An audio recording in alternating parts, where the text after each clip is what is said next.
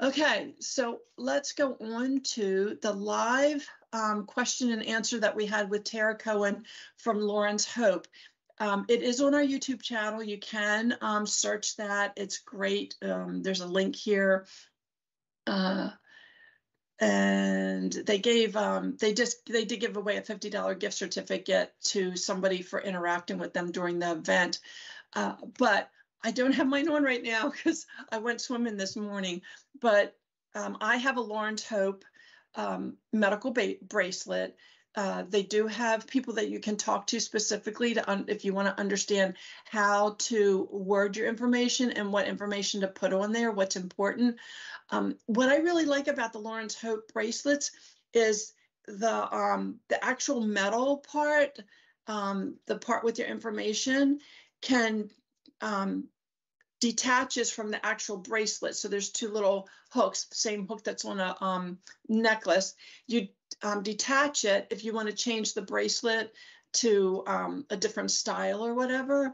Um, I have a couple different ones that I use. I have one that's in rose gold, one that's in silver, um, one that's um, kind of like a leather strap. And I, I just swap them out. But it gives me some peace of mind. I never travel without it, even if I have my husband with me. Um, I definitely wear it if I'm my family lives two hours. Part of my family lives two hours from where I am, and um, I will go back and forth to see them. I definitely have it on when I'm driving those two hours back and forth. Um, so it just gives me that extra peace of mind. Mine um, just says that I have a thoracic, an abdominal um, aneurysm.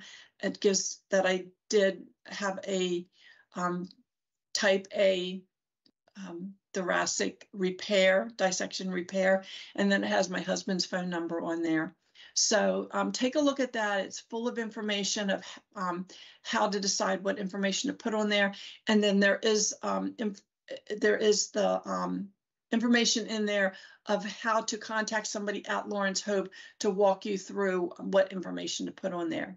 A great resource. And they don't, they have more than just bracelets. Um, that they, first of all, they have different style bracelets.